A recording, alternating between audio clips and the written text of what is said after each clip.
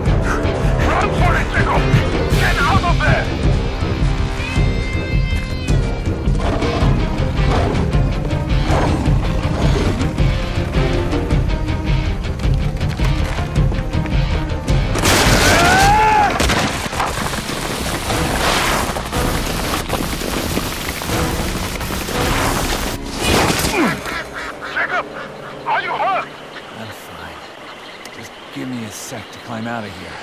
Great. So now how do I get to you? You will need to take another path through the river gorge.